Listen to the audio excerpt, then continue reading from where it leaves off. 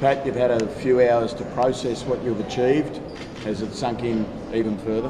Uh, yeah, I just keep every half an hour or so you kind of remember that we just won the World Cup and get excited all over again. So we're still buzzing. It's been awesome couple of days, and yeah, I think we'll be smiling for a fair while.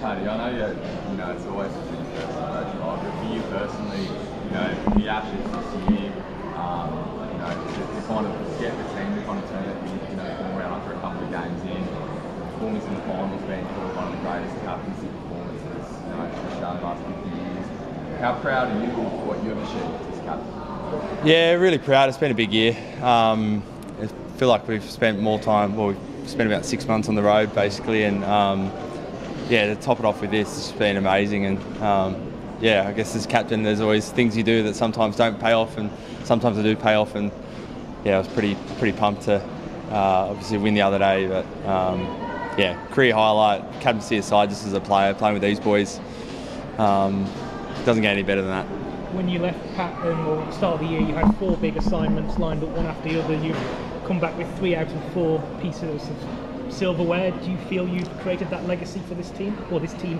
has created themselves a legacy?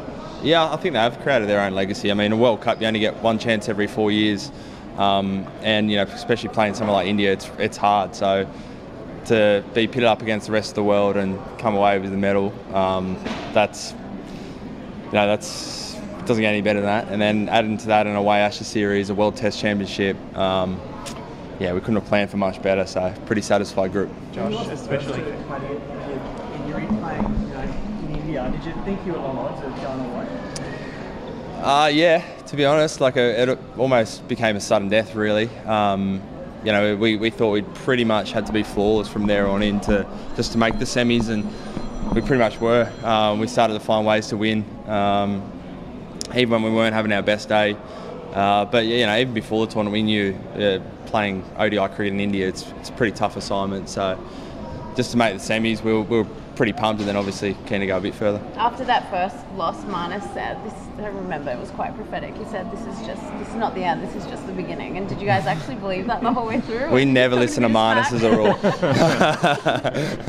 uh, I mean, there's so many great quotes I think throughout the tournament. You know, even when Mitchy Marsh had to go home, um, he said, "You know, I'll be back to win that cup in a couple of weeks." There's lots of those little moments that you look back on now that we've won, and you think, "Wow, you know, everything came together." But you know, the belief never left. Even at the start, we knew we hadn't played our best, but um, kind of knew once we clicked, we could take on anyone, and proved to be the case. Josh, just how well did he captain in the final, and what went through your mind when he said, "Well, we'll have a bowl for Uh, we make him look pretty good, don't we? Uh, a lot of the time. Um, no, I think it was definitely the right decision. I think, um, you know, I think the wicket was obviously quite dry. Um, not much grass. We thought the dew was going to come into play later in the night, so all those things sort of went to went to plan. Probably not the first five or six overs, but um, we knew they were going to come out hard, and that was probably going to be the easiest time to bat as well for them. So um, just stuck to our guns, and um, yeah, everything went well. Josh, considering you didn't get a chance to be part of that 2019 squad, how special was it coming back to this team and winning it this year? Two from two. yeah. Um, yeah, I think as Paddy said, World Cups are every four years. It's pretty special. Um, again, like the last few months seem to go pretty quickly. It's a bit of a blur as well. Um, we put ourselves in a, a, tough situation there early, and then I think it brought the best out in us, pushed us into a corner, and um, away we went. So, yeah, it, it's a pretty satisfying win. We've seen Davey come out and say he wants to go on for one more. We, have seen both of you guys go around for another four years. Uh, where's the next one? I'm not sure. the next World Cup, South Africa. That might suit us. Yeah. Depends where we're playing. A couple of four years. Four years is a long time, so we'll see.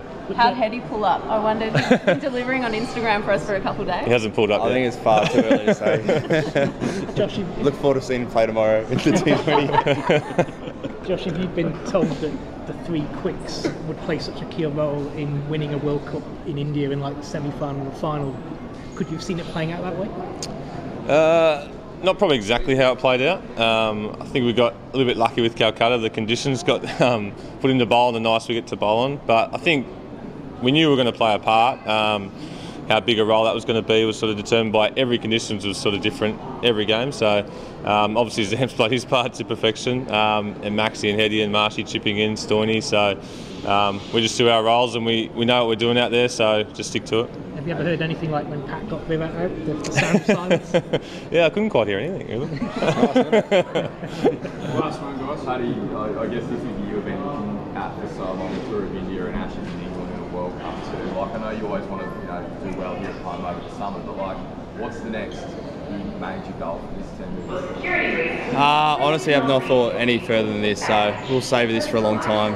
Um, yeah, I'm sure the stories will keep rolling on for a while, and then home summer is always huge. So we've got a couple of weeks to, to regroup, and we'll get together in Perth. It's, I think it's yeah, the majority of the ODI team's the same as the Test team, so it'd be good to go and see everyone again in a couple of weeks. But um, yeah, we'll keep savouring this for a little while, I reckon. With the summer of tennis right around the corner, Wide World of Sports has every angle covered. From match highlights, press conferences, and every breaking news story, Wide World of Sports is your home of tennis. So click that subscribe button so you don't miss a thing this summer.